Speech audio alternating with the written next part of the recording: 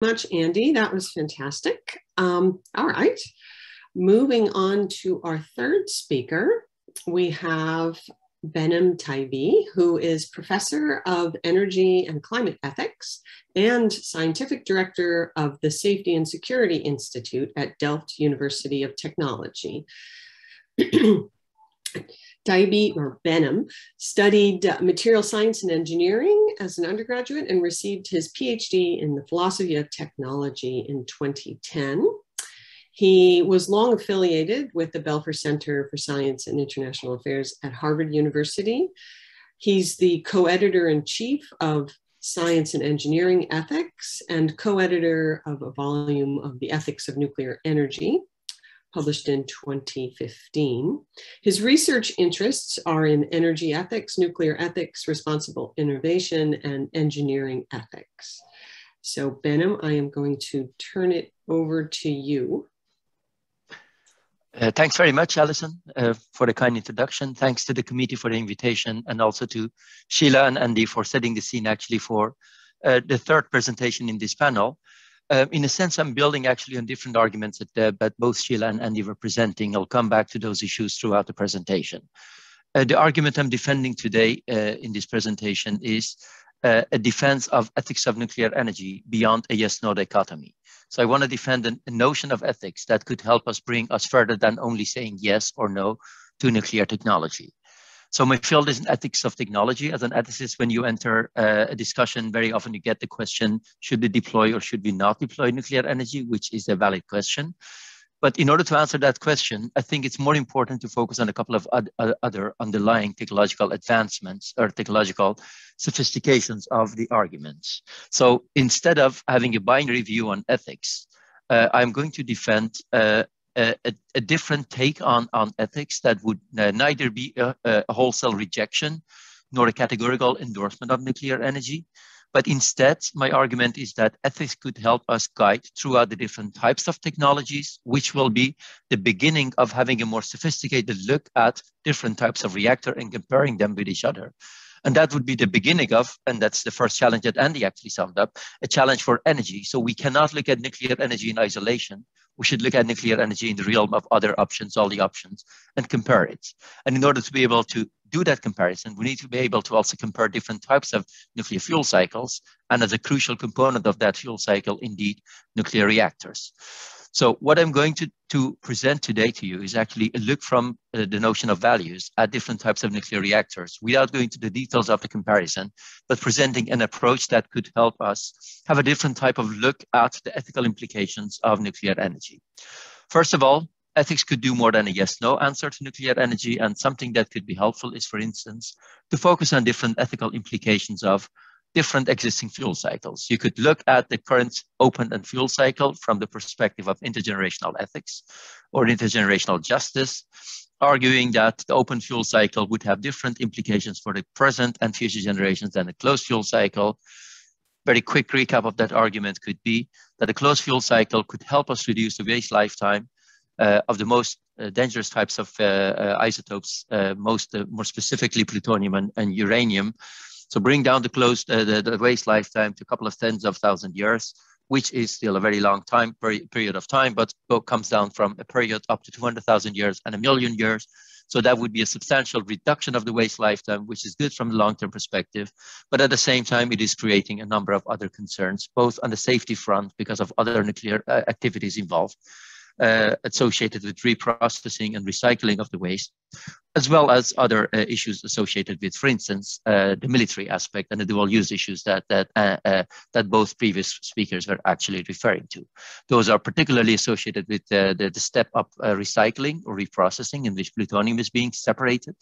Uh, but also purification and enrichment of uranium at the first stage of the uh, fuel cycle in which um, well, enriched uranium has been produced, and to a higher degrees, it could be also used for military purposes.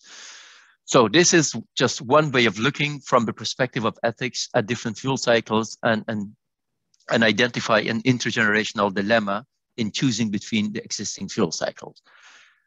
What is perhaps equally important or maybe even more important is to try to sort of anticipate what kind of ethical implications are there with the new uh, type of reactors. Um, so I w- I'm going to produce to introduce to you an, a take from the notion of values.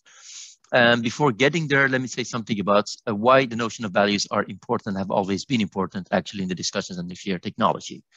So historically, perhaps not in the very first years of the, the, the first uh, one generation one and two of nuclear reactors, but as of generation two, and definitely after the Chernobyl accident and Chernobyl uh, disaster, but also Three Mile Island uh, uh, and uh, in Harrisburg, as well as Fukushima, every time after a nuclear disaster, there is a discussion coming up about how to improve the safety of the reactors.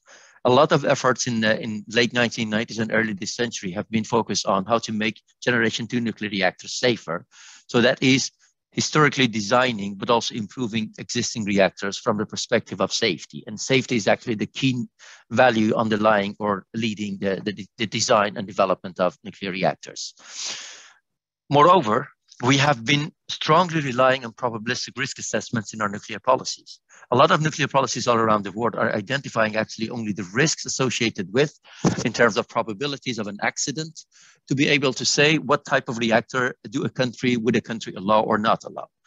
Um, so I think risk and safety have been sort of the, the, the, notion of safety and the value of safety has been historically the very important and the leading value in the developments of nuclear reactors. Um, so having a look at sort of this, this history in, in very broad, uh, um, uh, broad strokes, um, we can see that going from generation two to generation re three reactors, the, mo the, the, the, the leitmotif there has been uh, uh, definitely was actually to try to improve the, the pressurized water reactors, but also the boiling water reactors in terms of their safety. And by improving those safeties, moving to other models that uh, only uh, slightly change the model in terms of it's not a rigorous, it's not a sort of categorical change. It's more like a uh, a, a, slight change of the existing uh, design into AP1000 and ABWR, which are which have substantially improved the risk of a nuclear accident or a nuclear meltdown. So the first development was uh, to and sort of uh, bits and pieces improve the existing type of reactors to move to better, safer reactors. And that was sort of, again, the value of safety being the leading notion. However, when we look at the generation 3 plus and generation 4 reactors, and those are the three reactors that um, I'm going to very briefly review later on, um, those are the reactors that do not necessarily drive from the value of safety and they do not drive from actually incrementally improving the already existing reactors but they are actually sort of bringing in, in, in many occasions, revolutionary new designs. So that is designing reactors from a perspective of values, and not always from the perspective of safety, but sometimes from other types of values. So going back to the argument, as I mentioned, probabilistic risk assessment has been leading in, uh, in our public policy. Um, so the first problem is that probabilistic risk assessment, uh, well, for, for many of these existing or future reactors, we don't even have those probabilistic risk assessments. So for the GFR or the, for the, the, the molten salt reactors, uh, there are no actual estimated core damage frequencies. And the whole notion of core damage frequency doesn't apply anymore, especially in a reactor like the molten salt reactor, in which nuclear fuel has already been molten. It doesn't make sense to talk about core damage. It doesn't make sense to, uh, to talk about nuclear meltdown. So the whole idea of the probabilistic assessment as a sort of a, a way of comparing different types of reactors and guiding nuclear policy would not apply here. A speaker in the following session, uh, John Downer, I'm sure that he will come back to this notion and, and, and, and elaborate this, this argument. So that is a reason to say that only focusing on safety, definitely from the perspective of probabilistic risk assessment, is not going to be sufficient. What would be more helpful is to also focus on other values uh, uh, in terms of things that are morally relevant to take care of in designing nuclear reactors and things that have been also historically important in, in proposing new types of reactors. So in addition to safety, which refers to unintentional risk or unintentional harm, any kind of accident, there is the issue of security, which goes with sabotage of any kind of nuclear, uh, nuclear material, but also theft of nuclear material.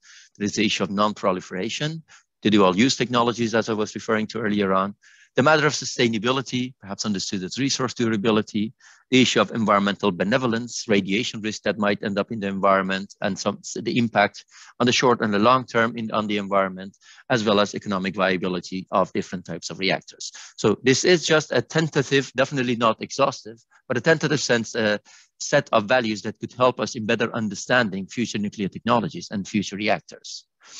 So the question is, or the, the, the, the, argument here is that in designing future reactors, we need to actually sort of better understand and assess these values and preferably anticipate them upfront and assess them in terms of how do they actually sort of comply with these values or, or compromise these values. So in doing so, it is not only that we can optimize all these values. So this is much more than only an optimization practice as we know in engineering. We need to better understand and balance some of these values and sometimes even compromise or give up one of the value in the interest of the other.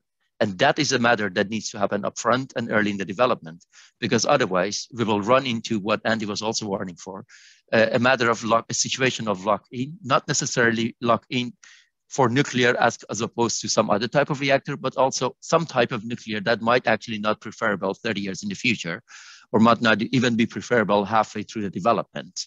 So this is again something that could help us against certain lock-ins in the, in the, and also within a certain type of technology. Um, so the reactors, I'm, I'm, not going to, in the interest of time, I'm not going to actually to in detail review those reactors, but there are three types of reactors that I have reviewed. I refer to molten salt reactors. This is just a very brief schematic uh, overview of the molten salt reactors from, uh, from the NRC, NRC website. Uh, but also another type of reactor that has been designed with, again, this one is with safety in mind. It's a revolutionary different design. That's the, the, the so-called uh, pebble reactors or the high temperature uh, reactors. And those are the reactors that have a completely different type of nuclear fuel that again cannot physically melt down. It, in the sort of that's again a physical property. The temperature in the reactor will never get to the degree that the, the silicium carbide coating of the of this fuel will melt, which means that a meltdown is physically impossible. So again, this is another take of nuclear safety, another take of ensuring safety, but designing the reactor completely differently. While a molten salt reactor has been partially designed to enable actually using of thorium, which is naturally more abundant than uranium all around the world. Um, and it also has a different global distribution. To wrap up the talk, um, I think we need to understand these values again because it could help us to avoid lock-in situations in the future. And it could help us at least have a preference in terms of which value should we favor above the other value and which is the value that we want to sort of uh, uh, how would we rank these different uh, reactors with respect to each other? Because, for instance, a molten salt reactor might be most favorable from a durability point of view because of the more abundant thorium, but also the different geographic distribution of thorium. Uh, while from a safety point of view, a pebble bed reactor might be most favor favorable because of uh, the, the, the, physical impossibility of nuclear meltdown, or at least at, that, that is the, the argument as the manufacturers are defending. So this is some kind of more, uh, uh, a more complex uh, um, qualitative assessments of different types of reactor could be perhaps in addition to other types of risk assessments, another way of looking at the matter of safety, but in relation to other important values at stake. So what I presented is very much in line with scholarship in ethics of technology that is uh, referred to as design for values or value sensitive design, which uh, uh, focuses on better understanding conceptually, but also empirically, what values are at stake and what value conflicts are happening at an early stage. As I said earlier, I hope that this could help us avoid certain lock-ins um, and certain um, investments that cannot be undone afterwards and political inertia once we have already sort of set in uh, once gone in a certain direction for development of a certain type of reactor but it could also contribute to better and more nuanced comparison of different types of nuclear energy production with other energy uh, types I think I'm going to stop here and stop sharing my screen. Back to you, Alison. Okay, great. Thank you. Thanks, Benham. That was fantastic.